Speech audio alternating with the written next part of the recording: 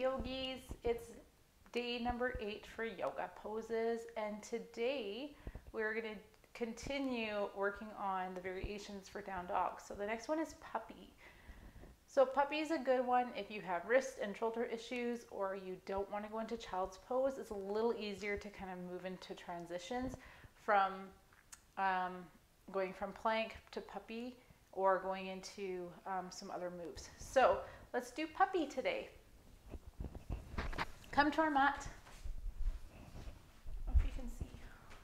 Look this down. There. Puppy.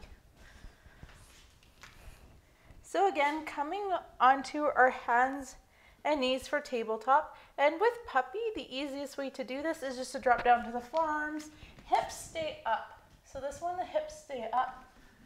And we just drop down to the forearms. So you will feel a stretch. And if you're very flexible, maybe you can get the chest down to the ground.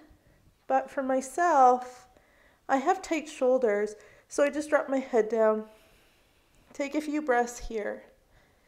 A little bit different than child's pose because child's pose we have our knees onto um, heels onto our thighs, our heels onto the hips. But this is puppy. You're also putting pressing into the pituitary gland or the third eye. And you feel a stretch in the arms and shoulders and the armpits.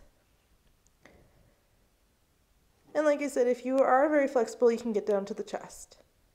And then when you're ready, just coming up. So that's puppy. So another alternative to down dog, when I teach my vinyasa flows, I prefer puppy over child's pose, but tomorrow we'll go over child's pose as well.